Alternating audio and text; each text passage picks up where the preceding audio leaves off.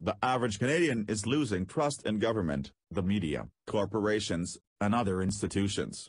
For Albertans, there is a trust deficit of more than 10%.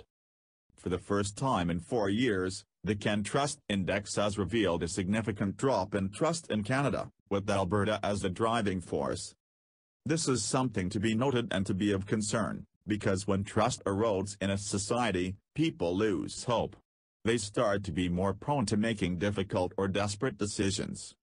There are some outside forces contributing to the lack of trust, such as regular attacks on the media in other countries. Canadians are also using editorial sources as a way to verify information, and social media is a factor as well. People subscribe to things they already believe in and don't expose themselves to new or different ideas. Right now in Alberta, there is a particularly strong and sharp decline in trust because of the pipeline approval issue, and the frustration of Albertans in trying to see their economic opportunity realized and being foiled by decision-makers in Ottawa, or Quebec, or wherever the opposition is coming from, is turning into a lack of trust. Basically we are feeling the system isn't working for us, so how can we trust it? When surveyed on what factors build trust in a leader, Canadians value honesty, integrity, and transparency. A new report from a BC panel states that Alberta tops the list of targets for money launderers, accounting for about one quarter of the total flushed through the system in the country. Approximately $41.7 billion was laundered in Canada in 2015, with $6.3 billion of that in BC alone. Alberta recorded $10.2 billion in laundered money. Officials say the province's rising crime rate and low GDP due to the drop in oil prices is mainly to blame. The Criminal Code of Canada defines money laundering as the practice of transferring the proceeds of a designated offence to obtain property with the intent to conceal the origins of those proceeds.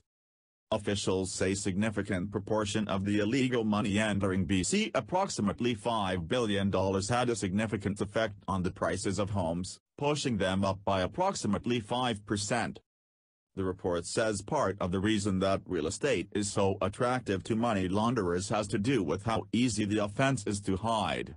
Using large sums of money to purchase property doesn't arouse much suspicion and real estate is often a very secure investment. It's also particularly attractive in high-demand markets. Money launderers can also benefit from those illegally obtained properties by profiting from capital gains from sales rents accrued from use of the property and debt service payments from financing the property.